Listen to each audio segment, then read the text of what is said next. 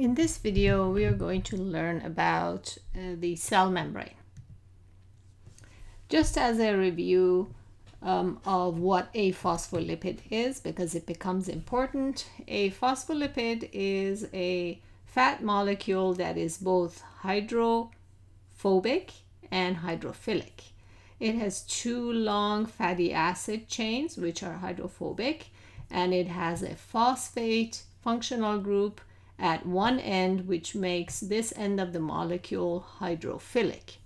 And this is another representation of the same molecule. And a smaller, simpler representation of a phospholipid is shown like here. So this is a hydrophilic head, that's the hydrophobic tail. Now, the plasma membrane is a bilayer of these uh, phospholipids. So you can see they are two rows, one row on the top and one row on the bottom. The hydrophilic heads are pointing towards the outside and this you one side is outside of the cell, the other side is inside of the cell. Um, both of these areas are aqueous, so therefore these hydrophilic heads can interact with water the inside of these bilayer is hydrophobic, where these hydrophobic side chains, the hydrophobic fatty acid chains are interacting with one another. Now notice that the plasma membrane is just not just made of phospholipids. There's a whole bunch of other stuff in here, which we're going to talk about in further detail.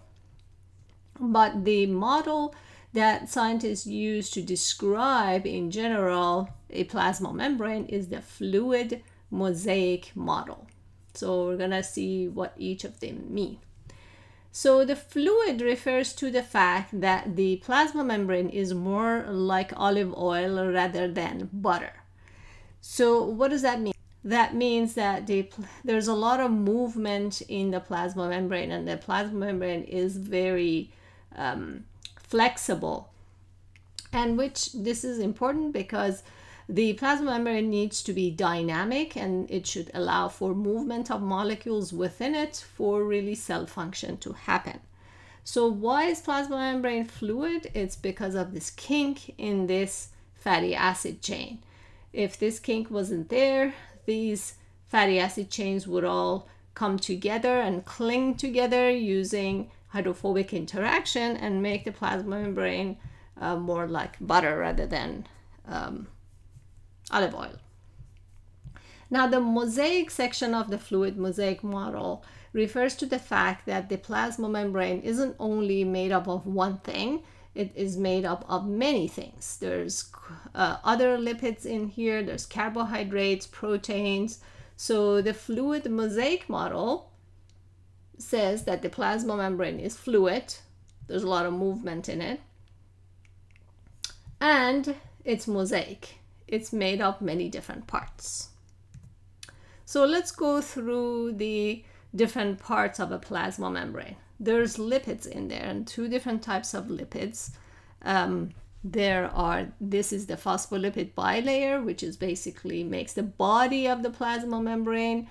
Um, and then we've got cholesterol. Now, cholesterol is very plays a very important function in the plasma membrane in that in that it um, regulates the fluidity of the plasma membrane. Proteins of the plasma membrane, you see all sorts of different types of proteins. We've got proteins that sit on the uh, two faces of the plasma membrane. Uh, these are called peripheral membrane proteins because they sit on the periphery of the membrane rather than being inside of it. We have integral membrane proteins that span across the membrane and a subform of these integral membrane proteins are the ones that have a hollow inside to allow molecules to pass through. These are usually called protein channels. Then um, to some of these proteins are uh, attached um, carbohydrates, which collectively we call the carbohydrate plus the protein a glycoprotein. And these glycoproteins perform important functions in cell to cell interaction, interaction of the plasma membrane with the, with the extracellular uh, space. Um, so speaking of carbohydrates, carbohydrates attach to two different parts of the plasma membrane, either to the protein parts or to the phospholipid parts.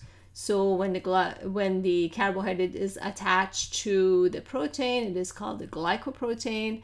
When it is attached to a lipid, it is called a glycolipid.